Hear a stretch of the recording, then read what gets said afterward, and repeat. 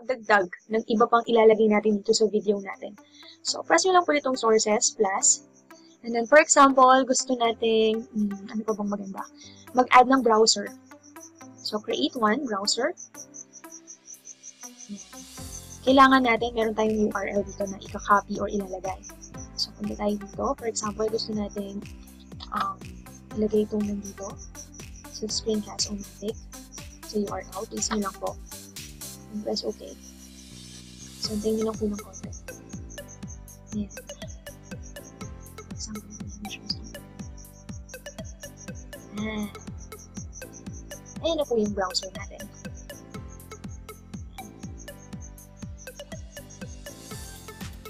So, ayun. For example, gusto mo itong i-move. Itong video capture device mo. Nalagay natin siya dito. Paano nga natin siya mapapatong? I-switch lang natin siya sa taas. So, ngayon, itong image mo, ayaw mo munang gamitin. Pwede mo naman po siyang i-delete, right-click, and then remove. Or, pwede mo pong gamitin itong mga icon na nandito. I-lock mo siya, hindi na natin siya magagalaw. Or, i-hide po natin siya using the eye icon naka-hide po siya. Pero pwede pa siyang galawin. Again, ayan, yan, hide natin siya. Press the eye icon. I-lock mo siya, hindi mo na siya magagalaw permanently. I-unlock mo para magalaw mo siya or mag-move. So, remove na lang po natin kasi hindi na natin siya kakailanganin. Just remove it. And then, palakihan na lang po natin itong browser to po natin. Oops. So, since yan, kagaya niyan, hindi po siya kasha, pwede niyo pong i-edit yan. Right-click and then, press po natin siya sa settings po na. Resize natin yung output source size. Dito po. So, do you want to continue? So, pwede po natin mamaya. Palitan natin tong browser to natin. Remove ko din po ito. Or, i-hide ko na lang muna po. Magdagdag tayo ng panibagong source. Magdagdag tayo ng, for example, ito, display capture. Itong display capture naman po, lahat ng uh, nandito sa naka-display sa screen mo. Kung ano yung nina-navigate mo as of the moment. Yan, kagaya po nito, nina-navigate natin yung OBS. So, yan po yung makikita po sa screen. Pwede rin po natin siyang ilagay buo. And then, yung video capture natin nawala. Ilagay natin sa taas para nakapatong. Or, sa video, uh, sa display capture po, ito, tong, tong nandito, yan din po yung nakikita niyo natin sa video. Okay? lahat ng inopen yung windows, ng browsers, or itong mismong program na ginagamit natin, yun po yung nakikita natin. Okay? Dito naman po sa controls, press po natin yung studio mode. Ayan. So, may preview at may program po.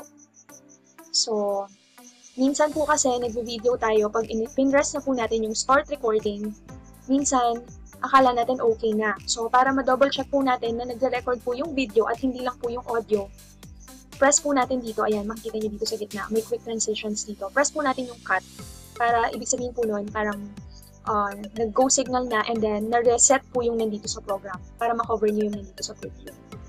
Go cut and then start recording. Press nyo lang po itong start recording. And once na nag-start recording na, pwede na po kayong mag-start din ng demo nyo.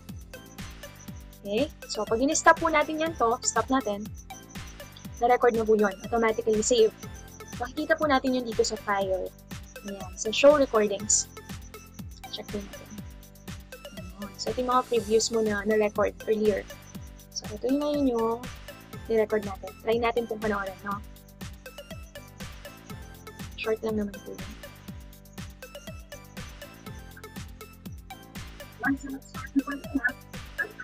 Loading. Loading yung picture. Ayan.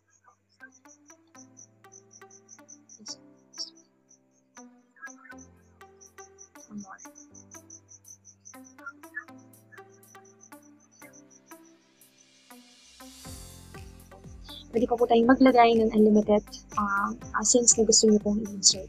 So, for example, pwede tayo ulit ng panibago. Piriniin po natin siya as, for example, goodbye part. so, again, pwede po natin ibalik yung studio mode na single siya as preview. Dito sa goodbye part, makikita nyo po ulit sa sources niya, wala pa pong laman. So, maglalagay pa lang po tayo. So, kung makikita nyo po, each since po has its sources. So, yung introdu- introduction part natin, ito yung content natin. Meron tayong video capture device, display capture, and yung browser po. Sa scene po natin, mga images lang, and another browser. Example, lagay natin to. Rename natin siya, intro 1.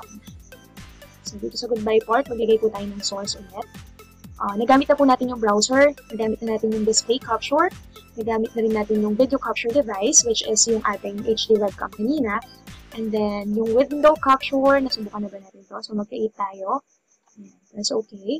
So, dito po sa window capture, pipili po siya, or pwede ka pong pumili kung kung ano yung gusto mong ilagay na window. Since ito lang po yung mga nakabukas ko, yan lang yung pagpipilian ko.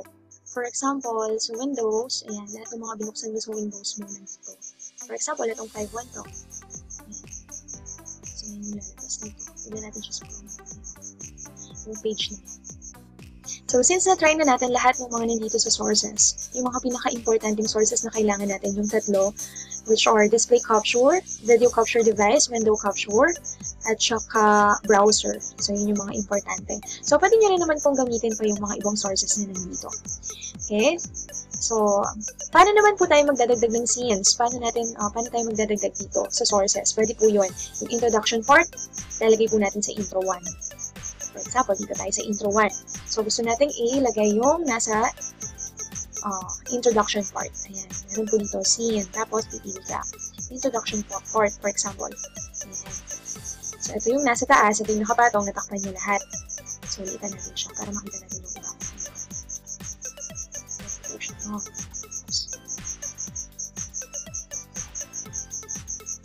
Mo siya gustong ilagay niya? Okay?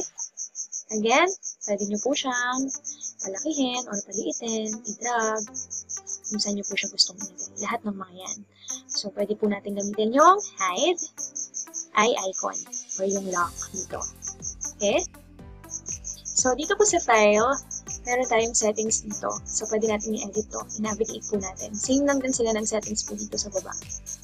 Okay? Ayan. So, meron tayong general, stream, output, audio. Kung gusto mong i-adjust yung audio mo, kung anong devices yung gagamitin mo for your audio, dito po natin yung makikita. Sa video po, gano'n po kalaki yung canvas niya, yung output niya, and yung downscale filter. So, sa hotkeys, advanced meron din po. So, sa output po, yung mga recordings po natin, saan po natin isa-save? Ano yung recording pad niya? Dito nyo po yung pwedeng i-adjust. Kung gusto nyo i-adjust kung saan nyo siya pwedeng save. So, ayun po. Uh, yung recording format po natin, pwede nyo rin baguhin. So, ako, I suggest na MP4 na lang po yung uh, ilagay nyo po dito. Para kung gusto nyo i-transfer yung mga na-record nyo sa cellphone nyo, ma-open nyo siya kagad. Okay? Save and change po. So, ayan. Palakihan ko yung display capture ko. So, I'm hoping po na nakatulong po itong simple video po natin at nakapag-impart po ako sa inyo ng little knowledge or little know-how po kung paano po natin i-navigate yung OBS studio po. So, nire-recommend ko po siya sa inyo. And kung mapapansin nyo po, ginamit ko po yung Screencast-O-Matic sa pagre-record po. Kasi po kung ganito po, na i-record ko siya sa OBS at gagamit tayo ng display capture, ayan, sa, sa nakikita nyo po medyo parang uh, ang daming, ang dami kong mukha at ang dami kong picture. So pag na-save po nun, ganyan din po yung nilitaw. So nire-recommend ko din po yung Screencast-O-Matic Screen Recorder kasi easy access po siya, easy to use po itong recorder na to. Yun lang, may pros and cons po siya. So every time na gagamitin po natin siya, kailangan natin siyang i-launch dun sa site. So launch pre-recorder ka parate yun lang po yung kanyang medyo nakakapagod. Unlike sa OBS po kasi, um, bukod sa marami siyang features po, tuloy-tuloy ka makakapag-save. Uh, and then, wala po ditong limit. Doon po kasi sa ating isang app is kailangan natin siyang i-upgrade. So, may upgrade din po ito. And may plans po na dapat bayaran. So, sa video creation niya, ayan. 1.65 per month. Pero, may included na siya na pwede kang mag-ano ng scripted recordings. So, may feature siya na gano'n. And green screen filter, and a lot more. Dito naman po sa OBS, ang kinaganda rin po nila, ang pinakaiba nilang dalawa is, dito po sa OBS, without internet connection, pwede po natin siyang gamitin. Yung kasing screencast, kailangan po ng internet. So, ayun po. Thank you po for watching this video. Sana po makaka, uh, makagawa po po ako ng panibago at makakapag-impart po ako sa inyo ng mga little know-how na makakatulong po sa ating pareho. So, yun po. Thank you and goodbye po.